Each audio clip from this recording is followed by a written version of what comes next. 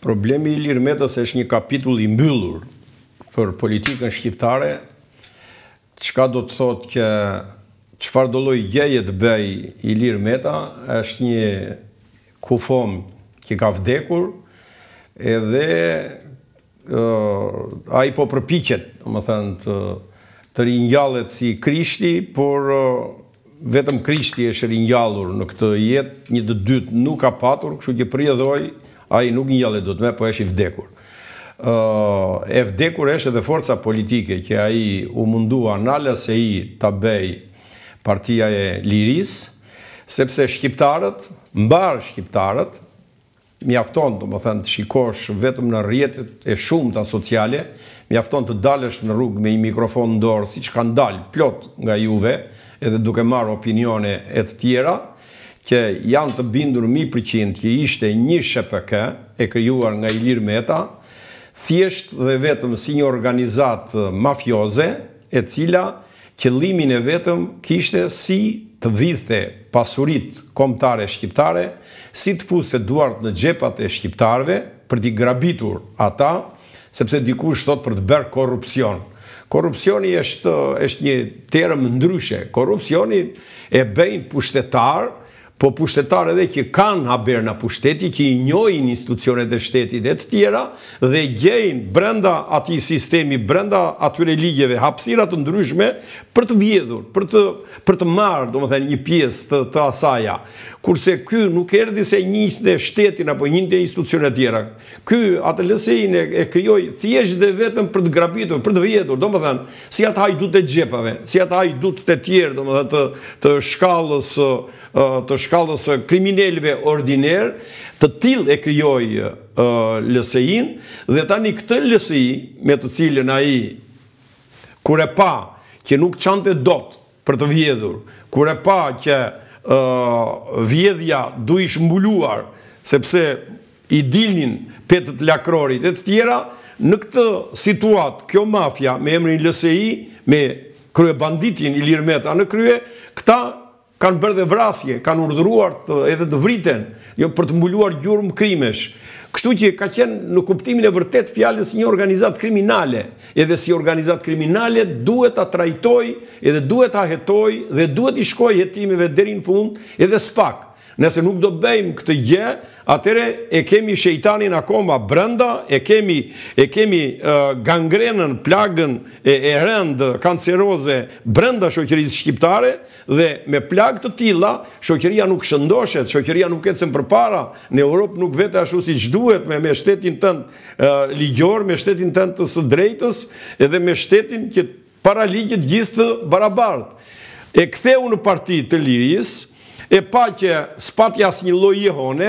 madje për turpin e tij, megjithëse u bashkuan edhe me foltoren e Saliut, e panë shqiptarët se sa vota morën, ato vota që muarën të dy bashkë me gjithë foltoren e Saliut edhe me gjithë Ilirin, kaq i merrte Iliri vetëm në dy mijë e trembëdhjetën, kurse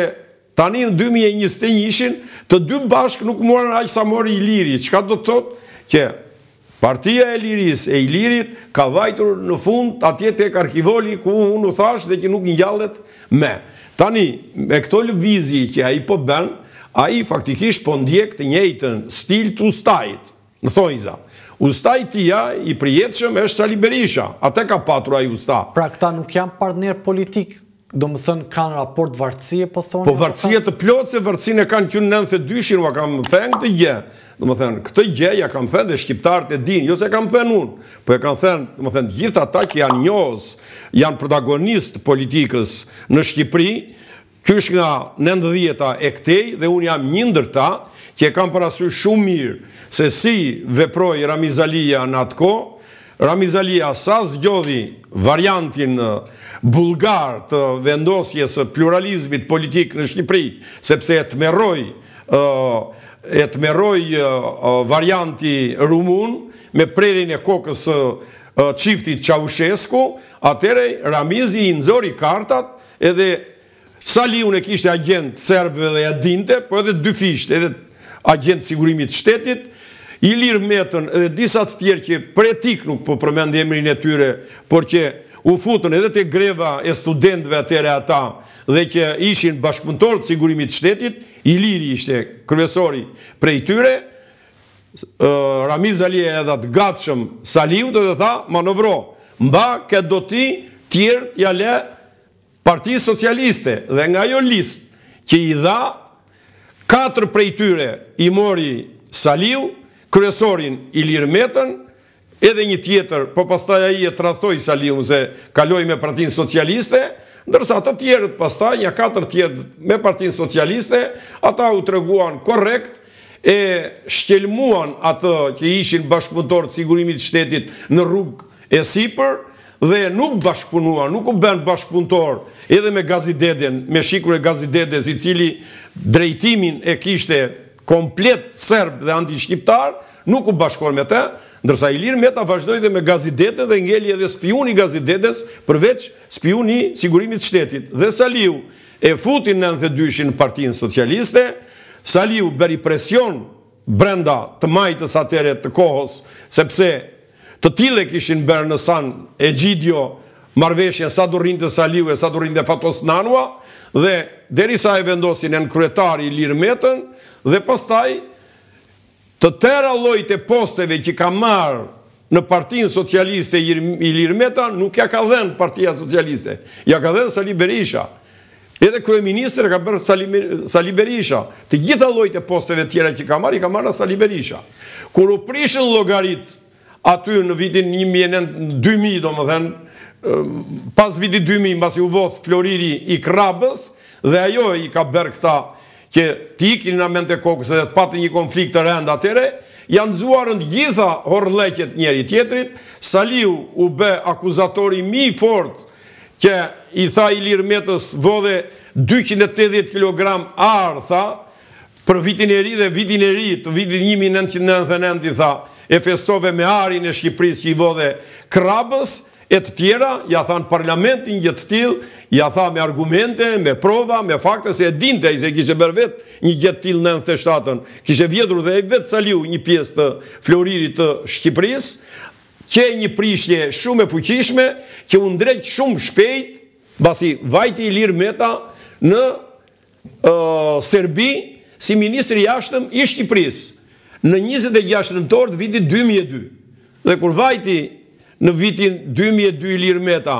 atje me Goran ministër i Jashtëm i Zvilanoviç të Serbisë, kur vajti atje ata që kanë qenë delegacion e dëshmojnë